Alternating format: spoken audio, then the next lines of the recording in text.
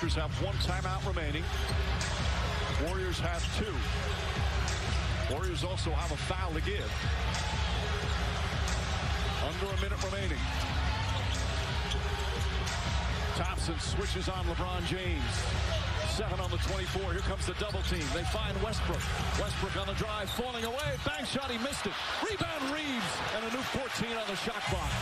And when you double, you open yourself up to second shot. James, the drive, kicks it out. Anthony, three-pointer.